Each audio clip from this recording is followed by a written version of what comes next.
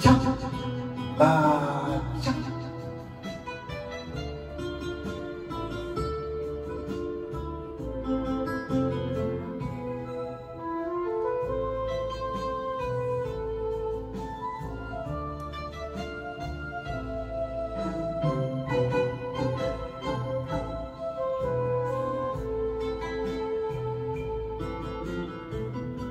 なんでこんなに可愛いのかよ。孫という名の宝物じいちゃんあんたにそっくりだ。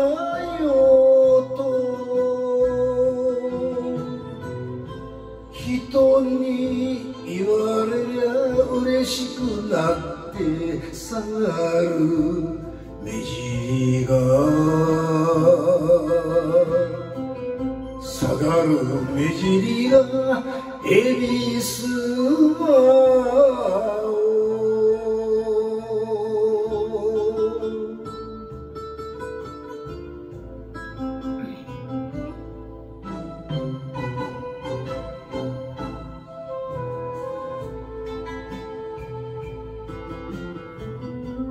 もみじみたいな小さな手でも今につかむよ幸せをしようと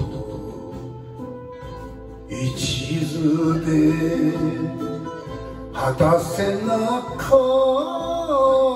た。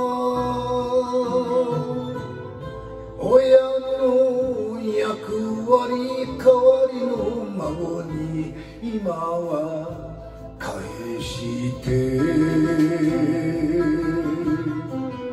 今は返しているところ。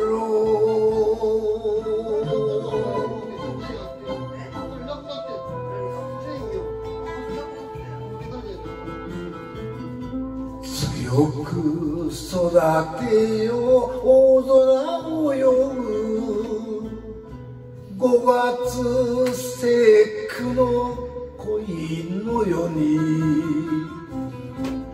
親の背よりも大きくなって